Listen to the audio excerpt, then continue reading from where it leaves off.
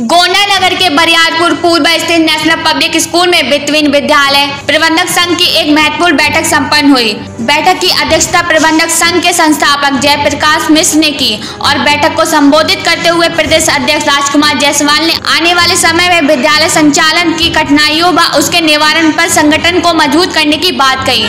वहीं प्रदेश उपाध्यक्ष जयशंकर प्रसाद ने कहा कि सभी प्रबंधक अपने अपने ज़िले में प्रबंधक संघ के सदस्यता अभियान पर ज़ोर दें और प्रबंधक जोड़ते हुए संघ को आगे बढ़ाने का कार्य करें।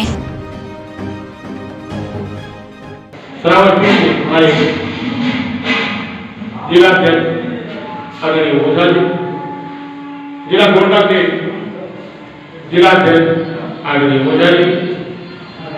श्रावस्ती के सदस्य